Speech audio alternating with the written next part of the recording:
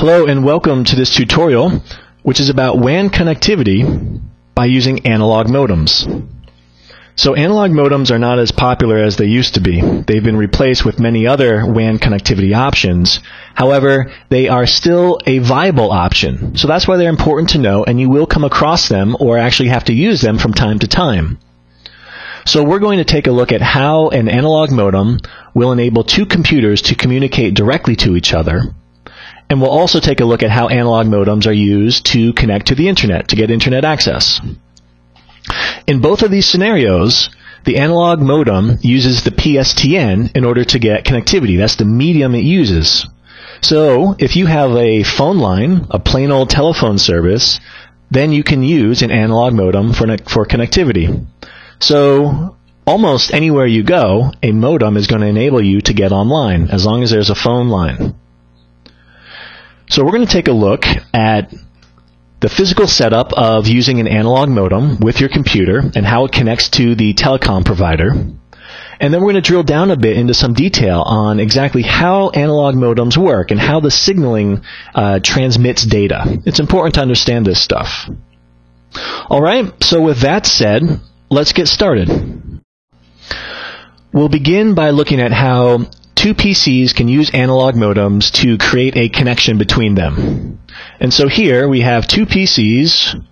We'll call this A and this B, and each one has an analog modem. Now, analog modems do not have to be external to a PC, and in fact, most days, most times today, you can buy a card and that card will be inside the computer itself. However, for illustration purposes, I've separated here to more easily explain what happens. Okay, so we have two PCs, two modems, and each location has a phone line. You might have heard the term POTS line before. That stands for plain old telephone service. It's just a landline that you would normally connect your telephone to. Well, each location here has a POTS line. And what happens quite simply is that PCA sends a digital signal to the modem. And it's the modem's job to convert that signal from digital to analog. And then it sends that analog signal into the PSTN. Now keep in mind, a POTS line is normally used for a telephone. And that's why uh, a modem has to convert the digital signal into an analog signal because the PSTN is expecting to get an analog signal. So, you may recall from another tutorial that the PSTN is a circuit switched technology as opposed to a packet switched. So quite literally, a point-to-point connection will be established through the PSTN for these two computers. And the PSTN is going to end up sending that analog signal to the other modem. And then on this side, this modem will take that analog signal convert it to a digital signal, and send it to, to PCB so that PCB can actually understand it. And that's the overall process of what happens. And of course, this happens in the other direction as well when PCB wants to send information to PCA. So modems convert digital signals into analog signals, and then vice versa. They convert analog signals back to digital signals. And keep in mind, the PSTN, the phone company, is expecting an analog electrical signal because that's what a voice phone call normally is. And the telecom, the PSTN provider, it doesn't really know if this is a voice call or data being sent through. It's just expecting an analog signal. Now this signal represents bits of information, little bits, little ones and zeros that is being transmitted between A and B. So now let's take a look, a closer look at the analog signal itself to figure out how exactly that analog signal, which is normally used to carry voice, is being used here to transmit ones and zeros. So the analog signal has to represent all of the information that the PC is sending, sending in digital format, a digital signal, to the modem. So when the modem converts it and sends the analog signal, this signal is going to be changed rapidly. And each one of these changes is going to represent the information that is sent in the digital signal. So if you think about ones and zeros being sent along in a digital signal? Well, in order for the analog signal to transmit or to represent that same information, it's going to be changed, or in other words, modulated very quickly, and each one of those modulations represents some of that information. And so when this modem receives it, it's going to be interpreting all those different changes to mean little bits of information, ones and zeros. And then it goes ahead and creates the digital signal and sends it over to PCB over here. Now, how many times can you change the signal?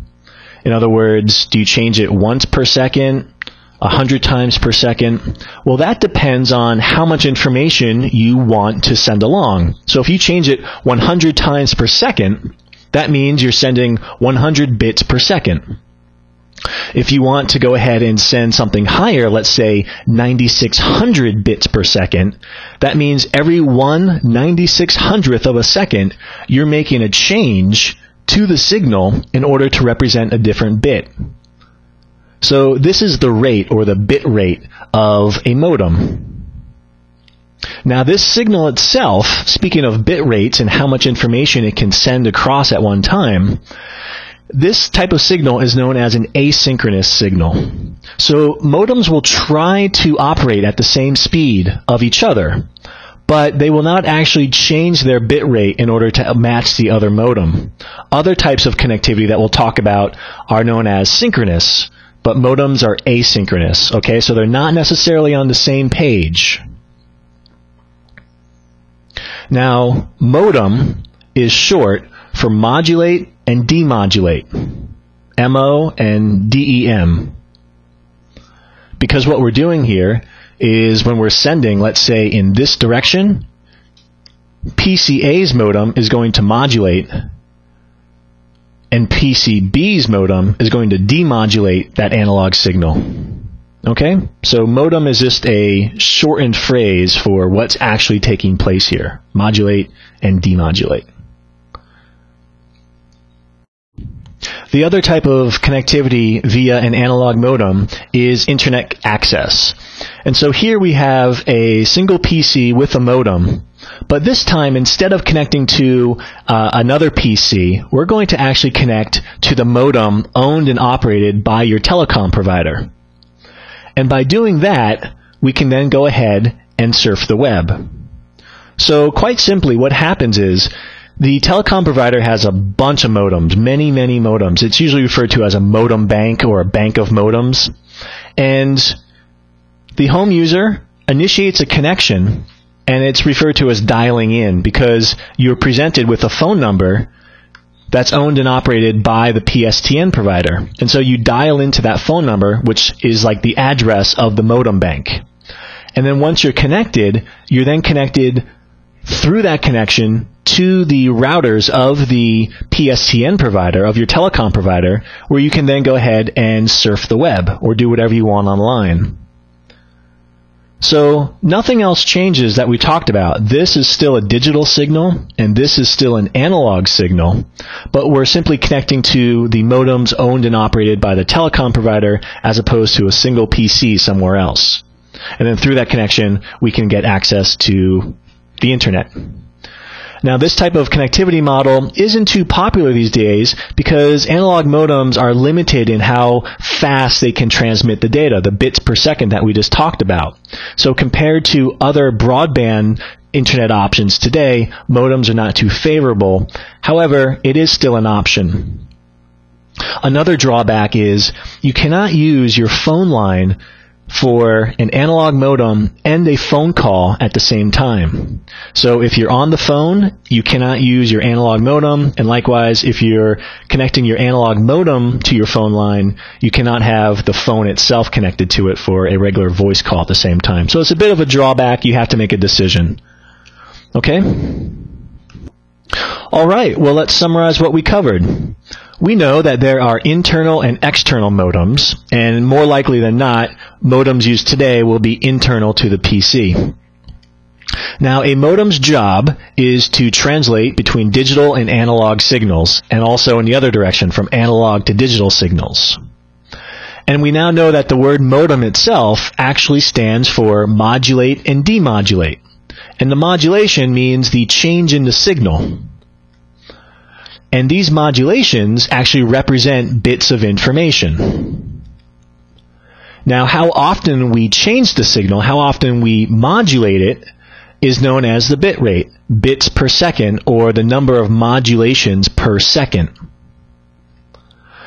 Also, we talked about how we can use modems for a point-to-point connection, say between two PCs, or we can use an analog modem for internet connectivity.